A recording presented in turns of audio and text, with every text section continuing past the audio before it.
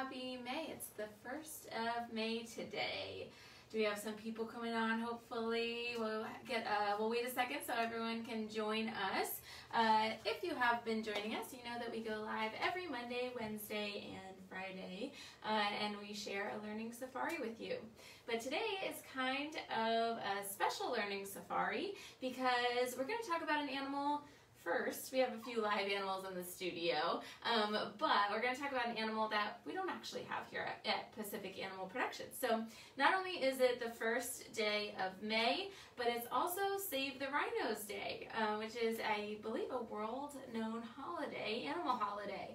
Um, so today we're going to be learning all about rhinos, and the stuff that their horn is made out of. You may notice that the theme of the day is keratin. Um, so hopefully, if you guys have been watching our learning safaris, you have definitely heard the word keratin before because we kind of say it a lot. Keratin makes up a lot of the stuff that many animals have. But before we dive into all of that fun stuff, um, first, of course, you guys, we want to plug some of our stuff that we have going on here at PAP. Um, so we are now doing virtual learning safaris. So if you want to learn about maybe some more animals or you want to customize a program, uh, head over to our website. We have all of our information on virtual learning safaris.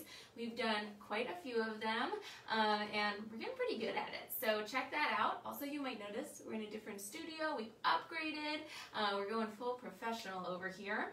Um, also, something that's really, really fun, if you are so bored at home and you're looking for something exciting to do, um, maybe a way to celebrate Cinco de Mayo coming up, we actually have a paint night with Paco, our sloth. Um, so if you've ever gone to like a sip and paint, it's kind of like that. We're going to have an instructor guiding you through a painting process of painting a sloth, and we have a live model, Paco, is going to be literally hanging out, eating some snacks um, while you guys paint him. It's really, really fun. We did a test drive.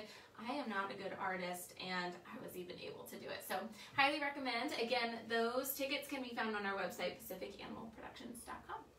Okay guys, so like we said, today we're talking about keratin. So before we do anything, what I want you guys to do is look at your fingernails, or maybe look at the hair on your arm. Your hair, your fingernails are made out of a protein called keratin. We have it right here. So keratins are a family of fibrous proteins.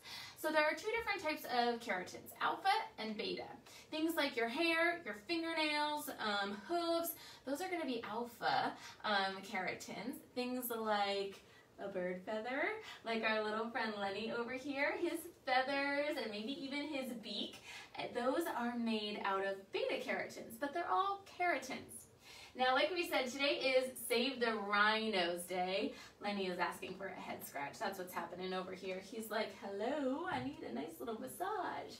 Now, before we get to Lenny, even though he's going to want to be the star of the show, and I'm sure he's going to let us know that by being very loud soon. Um, but we are talking about rhinos today. Save the Rhinos Day. So we have some really exciting stuff. First, we have this.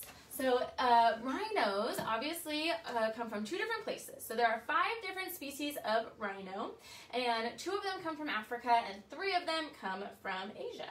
So we have this really awesome um, little chart, and the reason that we need a Save the Rhinos Day is because, believe it or not, there actually used to be a little less than 100 species of rhino extant on the earth. Extant is another really fancy word, and that means um, that they're living currently on the planet.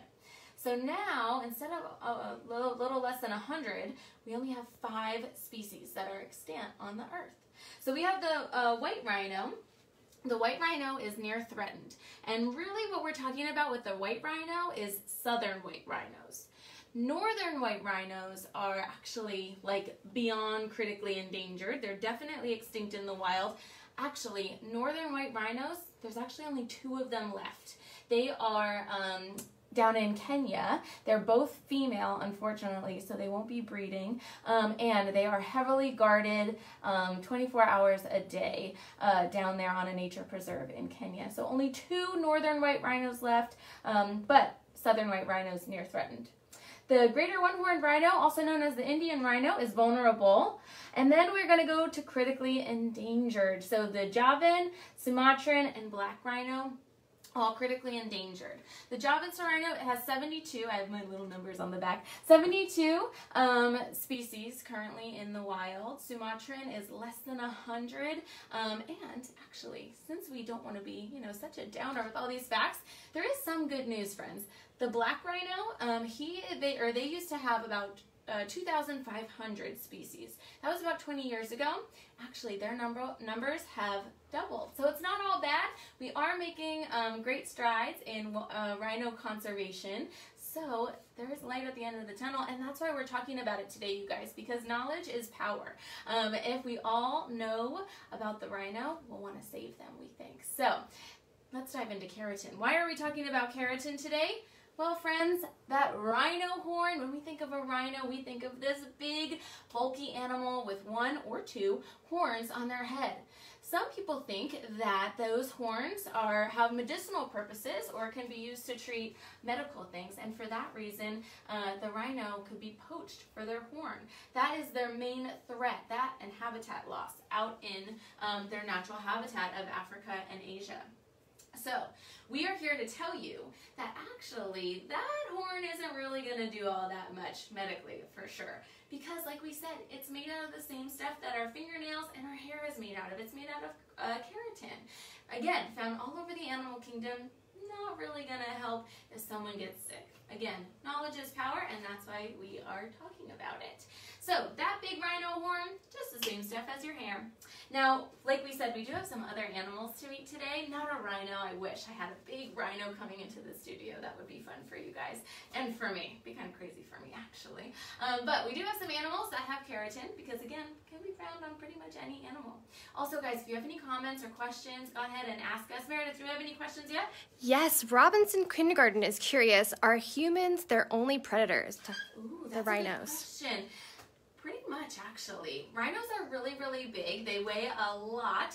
And even though they're herbivores and kind of going to just be munching on leaves and grasses uh, and other veggies, um, they're a little too big for other things to take them down. Maybe something like a lion or a tiger in Africa or Asia um, could take them down, especially if they were maybe working together. But for the most part, humans are definitely their number one predator, unfortunately, which again is why we think it's so important to be sharing this knowledge with you guys. Yeah. Yep. And we have another question. Lorelai wants to know what do rhinos eat? Ooh, great question, Lorelai. They are herbivores, like we said, so it's all plants lots of grasses, um, veggies. Some rhinos will actually, usually that horn is used for protecting themselves or maybe fighting if they have to, but some rhinos will actually use their, oh, I know. Some rhinos will actually use their horn to turn over um, uh, logs and things so that they can find roots and things to eat like that. So some will even use them to find their food. Great questions, guys. Keep on asking us your questions. Meredith is going to let me know if we have any along the way.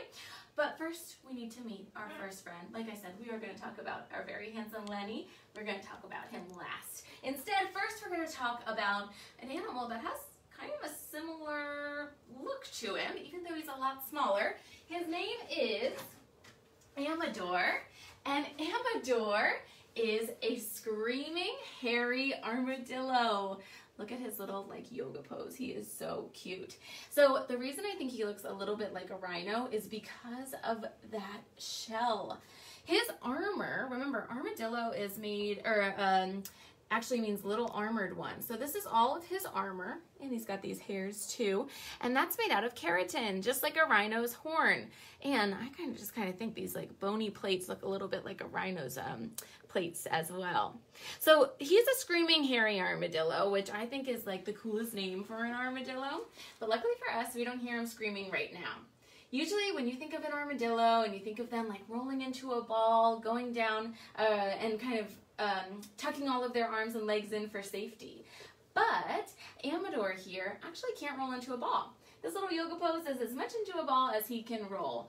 The only type of armadillo that can roll all the way into a ball is the three-banded armadillo. You guessed it, you guys. They have three of these little bands. That's a three-banded armadillo. But this is it for Amador. This is as much as he can roll into a ball. So instead, when he feels scared or threatened out in uh, his natural habitat, he's going to um, scream at the top of his lungs, and then he will use his long claws to bury underground. Look, Lenny is like, what is that thing? Now, speaking of claws, those are made out of keratin too. Look at those long claws. Also keratin, you guys. He's gonna use those to dig underground in order to find safety. And he, of course, is a hairy armadillo because he's hairy. Oh, wow. Thank you, Lenny. Yeah. Very exciting. Now, uh, Amador comes from South America. South America. Before we went on this live program, I said I was like, Lenny has been let us know here the whole time. But he comes from South America, and we do have armadillos from right here in the United States. So um, you may have heard of the nine-banded armadillo before. That's going to be the one we have right here in the U.S. Okay, guys, we don't want to keep him waiting any longer. He's ready for his attention. So let's head on over here to uh, Lenny. Want a little treat today? Oh, yeah, that's exciting. So Lenny is a Moluccan cockatoo, also known as a salmon-crested cockatoo. They come from Indonesia. Um, and so he is um, an Asian type of cockatoo, whereas some will also come from Australia. If you guys tuned into um, some previous learning safaris, uh, I believe it was our wildlife trivia learning safari, we met Angel. She was a sulfur crested cockatoo, and she came from Australia. Now, oh, thank you. He's flinging things everywhere. Now, Lenny, like we said, is a Moluccan cockatoo, and he's about 47 years old. In human care, you guys know, again, if you've been watching us, parrots live a long time. So he's going to live to be about probably about 70 to 80. Um, and he's showing off those zygodactyl feet. Again, we've definitely learned about them. They have two toes in the front and two toes in the back to hold on to, ooh, some delicious apple. Now, friends, remember, we are talking about keratin. So just like a rhinoceros's horn, his nails, his beak, and his feathers are all keratin. The difference is going to be his feathers and his beak are made out of beta keratin, whereas a rhino horn is going to be made out of alpha keratin. Now, what does that mean? That just means basically that it's a little bit of a different type of keratin, but it's all in the same family. Oh yeah, Lenny is that good. You guys can also see him moving his tongue. He'll use that tongue to move food around. He's actually kind of got a bone in there that'll uh, help him to move that crazy tongue around. Looks a lot different than, than our tongue. Now that beak is so strong, you guys. He can bite down with a force of about 500 pounds. Um, so that is an impressive beak. He could break a broomstick in half, not even thinking twice about it.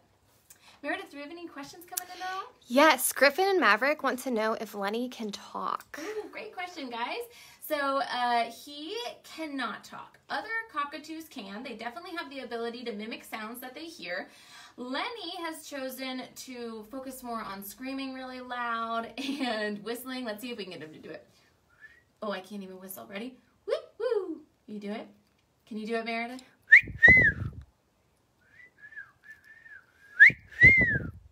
He's like, no, not, not that there's a camera on. I do it all the time, but now that there's a camera on me, I'm totally not going to do it. That's okay, Lenny.